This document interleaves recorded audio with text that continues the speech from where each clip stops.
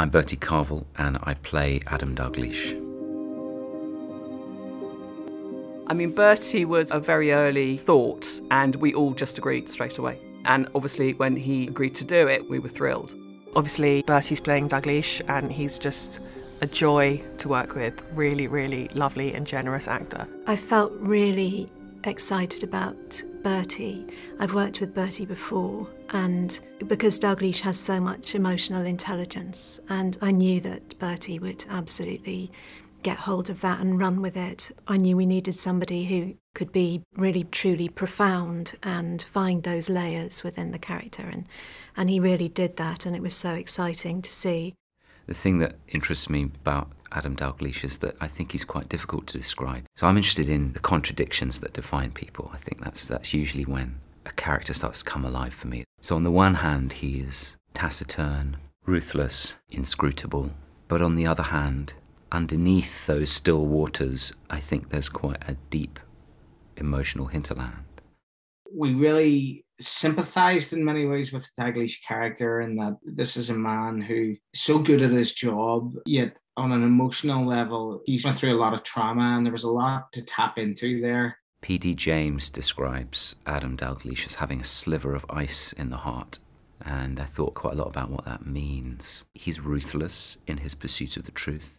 I think of him as a, a hawk or an eagle.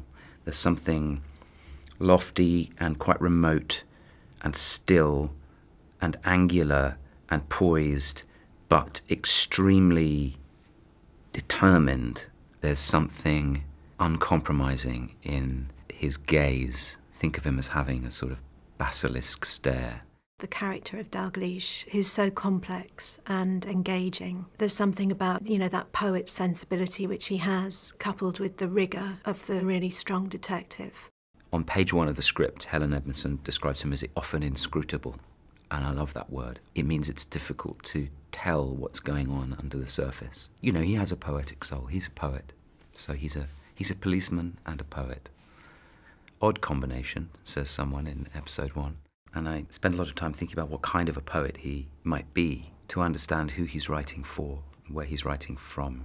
But actually, the key is that he's not writing poetry, and to think about why not. He's fascinating because so much is within. And I love the fact that there wasn't that sort of series list of tropes, you know, that he was, you know, a quieter character in a way, but he had to have enormous presence. If you're interviewing the girls, I'll need to be present. We're taking witness statements, that's all. I consider myself in loco parentis. And you'll be the first to know if I suspect any of them of involvement in Nurse Pearce's death. I assume you'd prefer to inform the next of kin. I'd be grateful if you'd do that as soon as I'll as do it now. And I'd like to speak to you as soon as you're finished here. Second floor.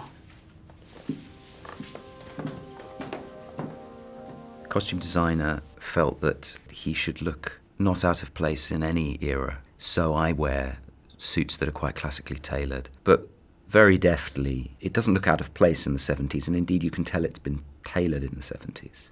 But he's not of the period. And one of the things actually I find so exciting about the part, there's a sense that he is out of time, actually. And then around him is this very exact portrait of a period of the mid 70s. One of the most exciting and interesting parts of the job, I think, was trying to find uh, and, what Dalgliesh should wear. So that was a really, really rewarding process. And of course, we also worked really closely with Bertie himself. He was the person that had to embody the, the character of Dalgliesh. So that was a really organic and, and really collaborative process. It also hopefully means that he's fascinating with every story. You start to get different sides of the man, which again I think is interesting for the audience rather than having the whole person on a plate. He gets revealed as the series goes on.